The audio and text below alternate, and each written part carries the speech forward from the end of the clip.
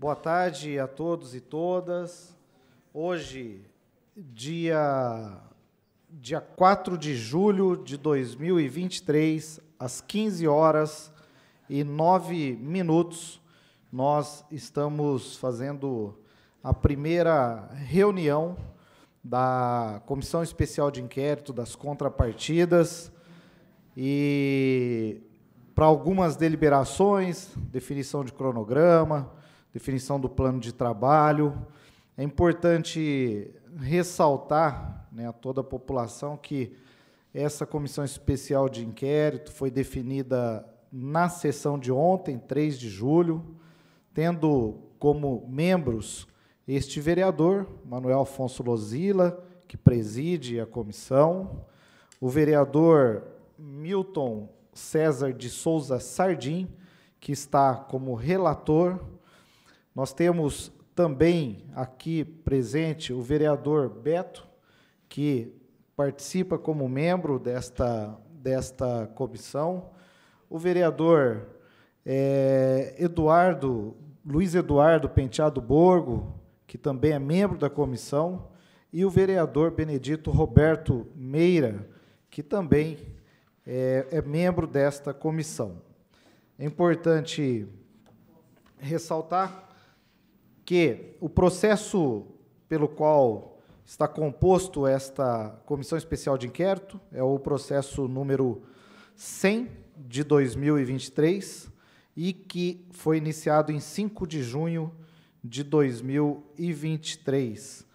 Nós temos é, já o processo na página 30 e, 37 cuja página é a portaria do presidente desta casa, portaria 2 de 2023, datada de 3 de julho, que designa essa comissão especial de inquérito. Então, eu passo aqui a fazer a leitura da portaria.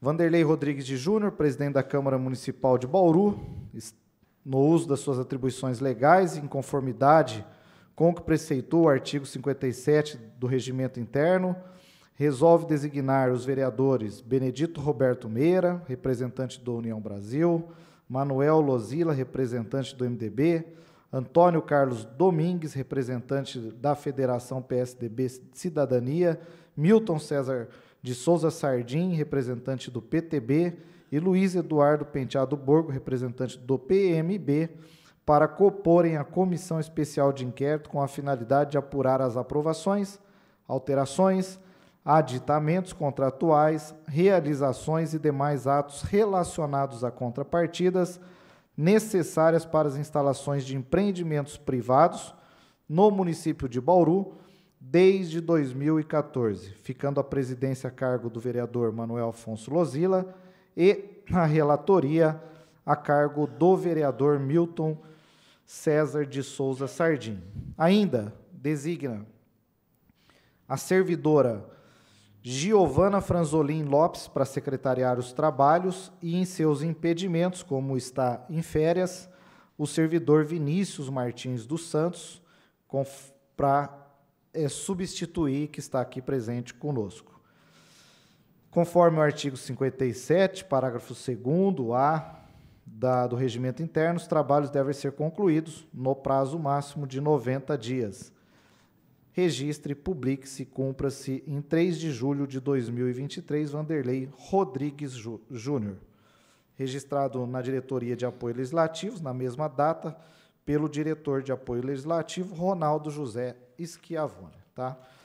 Hoje, o processo está aqui à disposição de todos que queiram dele fazer uso e será instruído conforme o decorrer é, dos trabalhos da comissão. Gostaria ainda de destacar, além da presença do Vinícius, a presença do consultor jurídico da casa, Arildo Lima Júnior, que está aqui presente, e desde já fica o meu requerimento ao presidente da casa para que o consultor jurídico possa nos acompanhar durante todos todo o trabalho, né, todo momento que nós tivemos aqui os trabalhos, a gente eh, gostaria que o presidente deliberasse e nos desse autorização. Portanto, Vinícius, vamos fazer um requerimento nesse sentido ao, ao presidente da casa. É, eu gostaria de compartilhar com os colegas, depois, obviamente, vou abrir a palavra e fazer a, a sugestão para que nós possamos é, deliberar os andamentos e os trabalhos da, da Comissão Especial de Inquérito, pelo menos aqui no plenário, para oitivas, para a gente poder trazer os assuntos e conversar com a população também, todas as terças-feiras, das 14 né, até as 18 horas, que o plenário fosse reservado e estivesse à disposição dessa comissão especial de inquérito.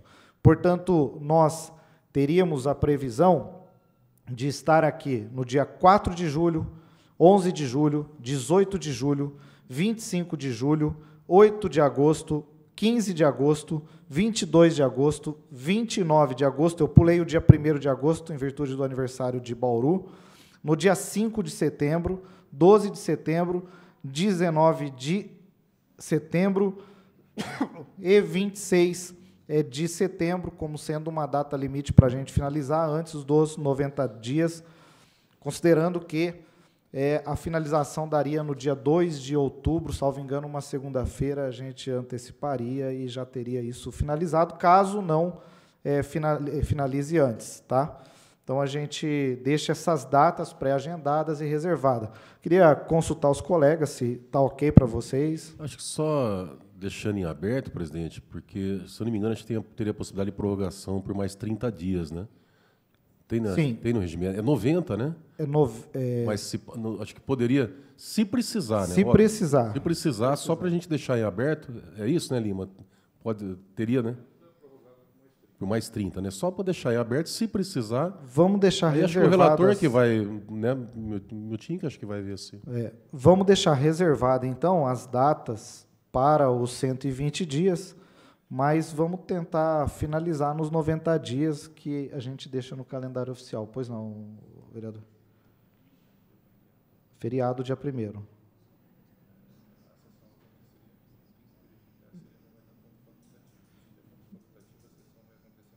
Sem problema, nós pulamos a semana do dia 1 A semana do dia 1 nós não vamos fazer reunião para justamente ficar à disposição da, da presidência fazer a sessão da maneira como ele quiser.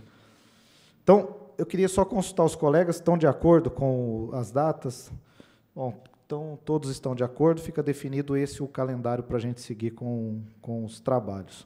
Eu, da minha parte, eu gostaria apenas, eu achei bacana nas últimas comissões que eu participei, inclusive é, tive a oportunidade de presidir, é, e, e, em algum momento foi legal ter é, técnicos né, das respectivas áreas a qual adentramos é, para, eventualmente, poder é, dar um, uma opinião ou nos auxiliar. Então, a minha sugestão, se os colegas não é, se importarem, seria da gente convidar né, a participar das nossas reuniões é, é, representantes do CREA, a SENAG e da OAB, se vocês concordarem, eu vou emitir um convite para a Senag, para o CREA e para a OAB, em virtude dessas é, situações envolverem os profissionais técnicos dessas áreas, pelo menos é o que eu vejo. É, e aí a gente consegue também ter algum apoio técnico, se eventualmente. Todos concordam? Concordam. Então, Vinícius, vamos emitir um convite para a Senag, para o CREA, para a OAB, convidando eles a participarem e já dando as datas em que nós teremos reuniões aqui, tá? Bom, eu acho que da minha parte, em relação às diretrizes né, iniciais, é, são essas. Eu também gostaria de colocar os membros da comissão que eu estou totalmente à disposição. Todos já sabem o meu perfil, né, vou tentar aqui fazer com que todos tenham voz ativa, conduzir os trabalhos de maneira mais clara, transparente, fazendo com que a população efetivamente tenha acesso àquilo que é a realidade dos fatos, né, e é dessa maneira que a gente é, vai conduzir. Contem comigo para apoiar qualquer é, atividade ou trabalho que se faça necessário. Portanto, eu vou passar aqui a palavra é, aos membros da comissão, e começando pelo vereador relator, se tiver alguma sugestão já em relação aos encaminhamentos e o plano de trabalho, que possa fazer para que a gente já possa começar com a solicitação de documentos, com o rol de oitivas e assim conduzir a comissão especial de inquérito. Vereador, relator, fica à vontade para fazer suas considerações. Boa tarde, presidente, Manelo Osila. Boa tarde, vereador Beto, vereador Borgo, vereador Coronel Meira, ao jurídico da nossa casa, Arildo Lima Júnior, aos funcionários dessa casa, à imprensa da nossa cidade, bem como as pessoas que se encontram na galeria. Senhor presidente, eu na minha eu fiz uma sugestão, na verdade, que eu acho bacana pontuar aqui, e depois dessa sugestão, a gente eu espero que depois dessa sugestão e mais a sugestão dos membros dessa comissão, nós podemos dar início a todo o processo de cronograma dos trabalhos. É, senhor presidente, Manuel, Manuel Afonso Lozila, eu, Milton César de Souza Sardim, como relator da CEI das contrapartidas, venho sugerir, sugerir a Vossa Excelência e aos demais membros dessa comissão para dar início aos trabalhos nessas nessa data as seguintes orientações: que sejam convocados os secretários de planejamento dos governos dos prefeitos, Rodrigo Agostinho, Clodoaldo Gazeta e Suelen Rosim. Que sejam convocados os secretários de negócio jurídico dos governos prefeitos, Rodrigo Agostinho, Clodoaldo Gazeta e Suelen Rosim. Que seja convocado o atual presidente do Conselho do município de Bauru, bem como os demais das gestões anteriores, posteriores a 2014. Seja convocado representantes da empresa construtora Paquembu. Sejam convocados membros do GAI, que é o Grupo de Análise de Empreendimentos representantes de empresas que efetuaram contrapartidas em nossa cidade desde 2014. Cópia de processos de contrapartidas desde 2014. Cópia integral do processo do loteamento Vargem Limpa, bem como o processo de contrapartida, nesse caso específico, da UBS Vargem Limpa. Cópia da atual legislação que regulamenta a contrapartida. Diante dessas solicitações, podemos iniciar o cronograma de trabalho dessa comissão, partindo após para as oitivas, sendo as datas determinadas por essa presidência. Atenciosamente, assina esse vereador Milton César de Souza Sardinha. Vereador, eu vou colocar a palavra aos demais membros, porque eventualmente pode surgir alguma outra sugestão e aí a gente decide em conjunto. Então, eu vou abrir a palavra. Vereador Borgo, fica à vontade. O... Eu ia fazer uma sugestão, aliás, uma solicitação, se a cópia que a prefeitura foi fornecer dos processos, se não consegue vir digitalizada. Por quê? Primeiro que vai ajudar a gente aqui no, no, na diretoria de apoio legislativo, que vai ter que digitalizar, né? porque o processo é digital. Segundo, que a gente consegue ter acesso a esses documentos depois pela internet. Tá? É, final de semana, porque tem muito contrato para a gente analisar. Então, se for possível fazer essa solicitação da cópia digitalizada, porque hoje é, é, simples, né? põe na máquina ali ao invés de tirar a cópia, e até para evitar o, o gasto né, de, de dinheiro público com a impressão de tantas vias. A segunda observação que eu faço, vereador relator, é em relação só se a gente vai convocar mesmo ou se vai convidar. Porque é até um pedido que eu vou fazer, ou melhor, eu já vou fazer antes já esse pedido, presidente. O que, que acontece?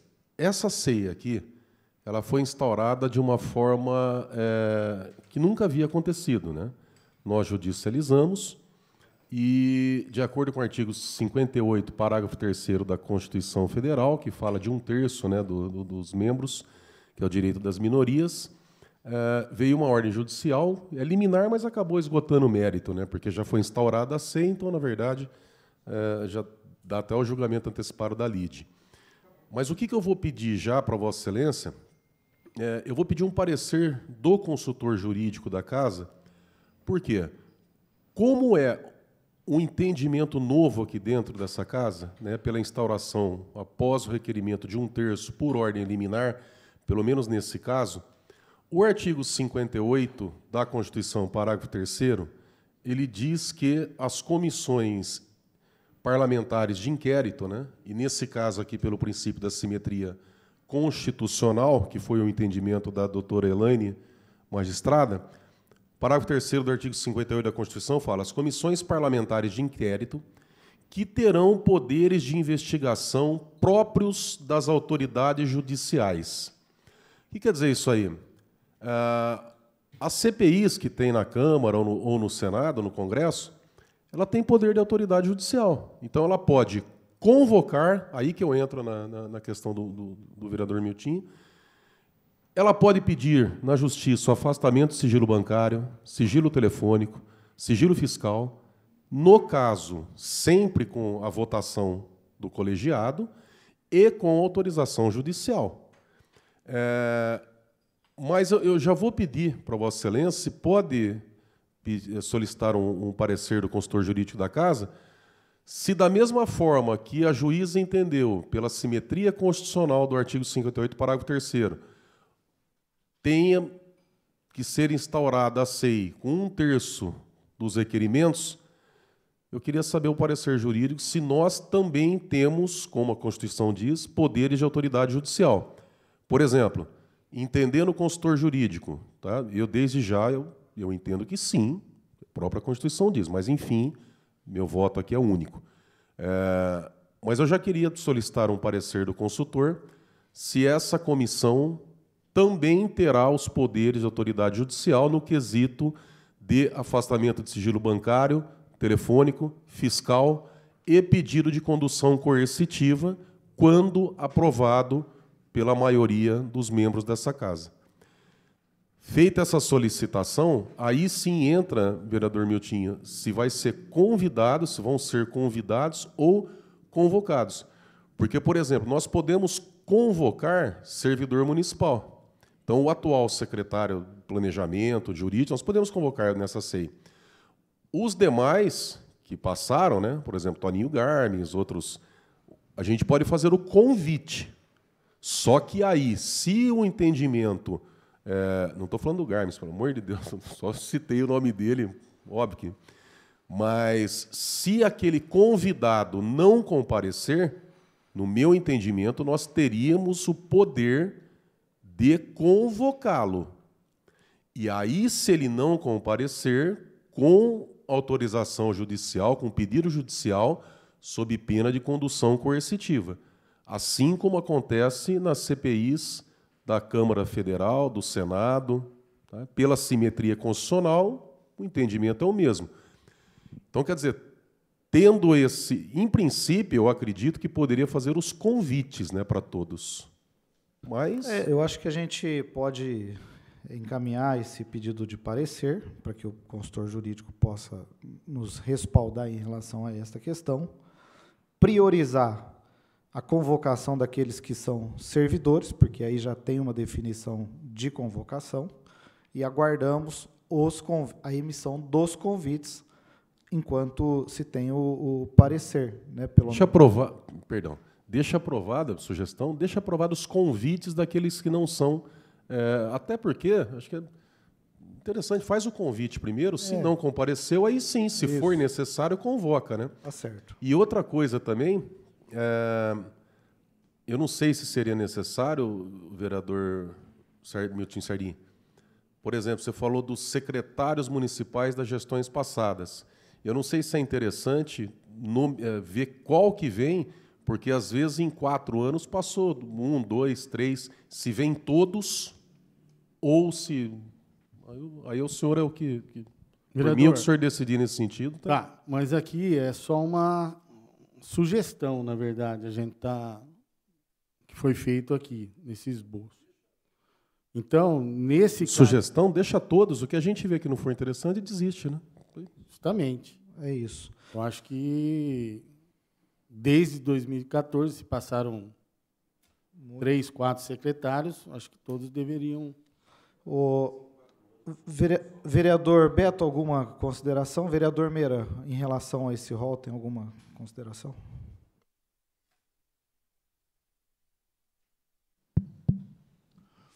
Vereador Manuel Lozila, eu entendo o seguinte: esse assunto contrapartidas pode ser um assunto, uma, uma, uma terminologia que nós entendemos e compreendemos aqui nessa casa. Em que pese, eu tenho quase certeza que a, não, a, não é por unanimidade, não é todos os vereadores que dominam o que seja uma contrapartida, o que seja um estudo de pacto de vizinhança, uma EIV.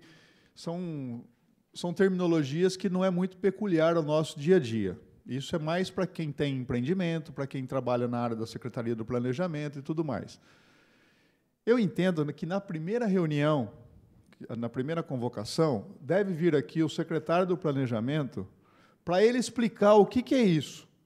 Explicar o que, que significa a Lei 6.626, de 18 de fevereiro de 2015, em que ela dispõe sobre a elaboração do estudo de pacto de vizinhança, que fala sobre contrapartidas, o que, que é o GAI, como que ele é constituído, que é o Grupo de Análise de Empreendimento, enfim, eu entendo que o secretário de Planejamento é a pessoa mais habilitada nesse momento para poder fazer um esclarecimento para as pessoas do porquê que nós instauramos essa comissão especial de inquérito. Por que, que ela foi instaurada? Qual é a razão? Porque nós falamos assim, ah, não, não, a prefeita alterou a contrapartida da, da Vargem Limpa da UBS. Olha, é muita coisa. UBS, Vargem Limpa, contrapartida. Então, primeiro explicar o que é contrapartida, explicar o que é EIV, explicar o conteúdo dessa lei, que é a 6.626 de 2015, explicar como é que se constitui o GAI, que é o Grupo de Análise de Empreendimento, quem são as pessoas que compõem o GAI, quais são os poderes que o GAI tem, para que as pessoas que estejam assistindo e possam compreender o que, que é a, a, o assunto que nós estamos discutindo aqui nessa casa. E eu entendo que esse vídeo, né, com a gravação da explicação por parte do secretário o Luiz Renato Fusel, ele fique disponível para as pessoas falar, pô, o que é esse negócio aí? Eu quero entender. Porque senão fica uma coisa assim, para a população que nos assiste, fala, pô, mas o que esses vereadores estão discutindo lá na Câmara? Eu não consigo entender nada do que eles estão falando. É diferente de eu falar assim, olha, nós vamos fazer uma comissão especial de inquérito porque houve uma, uma uma compra de imóveis por meio de por meio de desapropriação, assim, assim, assim é fácil. A palavra desapropriação é fácil de compreender e entender. Então, é isso que eu ia pedir é, no rol, antes mesmo dessas convocações propostas pelo vereador Milton Sardim, que fosse que viesse aqui o, o Luiz Renato Fuso e fizesse esse esclarecimento. Mas uma coisa didática, não coisa para chegar aqui e ficar mais complicado ainda. Entendeu? Eu entendo Entendi. Assim. Eu acho que a gente poderia até, nessa primeira data, chamar o, o, o secretário de Planejamento e membros do GAI, porque é uma tarde, talvez ele esgote aí em uma, duas horas a explicação. Nós já temos membro, os membros do GAI também, porque entra nessa rotina, tem os critérios de, de análise, e aí talvez se torne ainda mais e, didático. Né? E até porque, primeiro, excelente, Mira, excelente, excelente ideia. Até porque vai ser o prazo que a prefeitura vai precisar para tirar as cópias. Né? Nesse prazo, a gente não vai ter os processos. Então, eu acho que seria legal. A próxima reunião nossa já ter essa apresentação. Eu só faço aqui uma, um adendo, se possível, convidar ou convocar também o doutor Maurício Porto, que eu acho que ele pode também ajudar nesse sentido, claro. principalmente na questão jurídica. Claro. Vamos, então, Vereador relator, tem alguma consideração? Não, é só pontuar mesmo, se for começar dessa maneira, mas deixar registrado aqui o, a minha sugestão também em relação à continuidade conforme o andamento. Bom, então, assim, eu acho que para a gente iniciar, já definido o cronograma, definido né, é, como que nós, as datas, alguns requerimentos já feitos, primeiro, nós vamos aqui é, deferir e encaminhar todos os pedidos de cópias feitos e sugeridos pelo vereador relator, destacando no ofício, Vinícius, que são cópias digitais, que nós queremos, porque daí a gente já delimita que os arquivos têm que vir de maneira digital. Então, cópia de todos os processos de contrapartida desde 2014, cópia integral do processo de loteamento Vargem Limpa e do, especialmente do processo de contrapartida desse caso em relação ao UBS, cópia da atual legislação que regulamenta a contrapartida. Então, esses foram os pedidos de cópias que, que, solicitados pelo vereador relator, que foi deferido, e nós já vamos encaminhar. Nós vamos convo convocar para a próxima reunião, que será dia 11 de julho, a partir das 14 horas, o secretário de Planejamento, para que ele possa fazer essa exposição né, de, do atual status e atual fluxograma de como é o processo de contrapartida no nosso município e também de análise do GAI, e vamos convocar os membros do GAI, tá? para que também estejam presentes a partir das 14 horas nessa, nessa reunião. Aí, nas reuniões subsequentes, nós vamos reservar 30 minutos para cada pessoa e vamos né, convocar e convidar todos aqueles membros que o vereador relator sugeriu. Então, nós vamos convidar e convocar os secretários de planejamento das legislaturas é, anteriores, aqueles que foram secretário de planejamento, o secretário de negócio jurídico atual e os anteriores, tem que levantar, né, eu pedi para a secretaria levantar o nome de cada um deles, juntamente com a assessoria do vereador Milton, e, e, e convidar e convocar. Depois, presidente do Conselho Municipal e os anteriores, representantes da empresa Paquembu e representantes das empresas que tiveram contrapartida desde 2014. Então, esse é o rol. Ah, e para a próxima semana também, é, convocar o é, procurador Maurício Porto. Eu não, eu não sei aonde ele está alocado lá, na CEPLAN. E aí a gente precisa convocá-lo também para estar presente, porque ele tem muita informação sobre esses processos.